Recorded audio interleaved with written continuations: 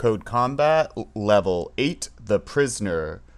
Uh, and this is for the JavaScript version. Goals free the prisoner, defeat the guard, grab the gym.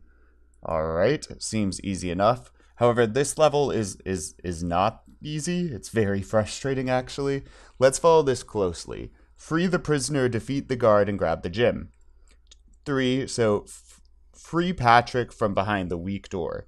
To do that, this isn't a password protected door. It is a door that we will be needing to attack. Well, what's the door's name? It is weak door. And just like with enemies, notice the capitalized letters, it has to match perfectly.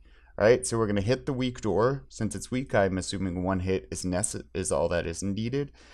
Defeat guard name 2, get the gem. Um, I know from experience, this guard takes many, many, many, many hits.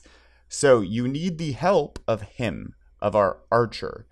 Notice the arrows. So what we are going to do is we're going to walk right. Ah, let's go ahead and add that. Move right one, hit the weak door. Let's move right mm, one, two, three, actually, because that will give him time to set up and shoot and weaken this guy before we have to fight him. And then let's move down one. And now let's go ahead then and attack two. Unfortunately, we can't use the numeric system, right? We put um, the name of the person in the parentheses or in the quotes, not the, and I'm going to do it one more time for good measure. I think it's a two hit situation if we get him attacked, but I'm not sure. Hopefully that will work out for us.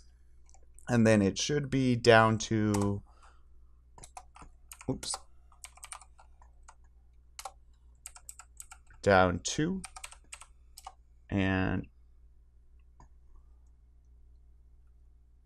that should do it. If I have to go through that door, I don't think I do. So let's go ahead and hit run. Again, usually I would run this several times before this point, but in the interest of speed, I'm going to give it a shot. There we are. Ooh, this looks like it is promising. And we're going over to this point. Hopefully he gets set up. Excellent. And starts shooting two, one hit, two hit, three hits. Oh, we walked away before he was dead, but thankfully the archer took care of it. And we got the gem. Success. And great. We are victorious. And we're moving on now, well, to lesson nine or level nine.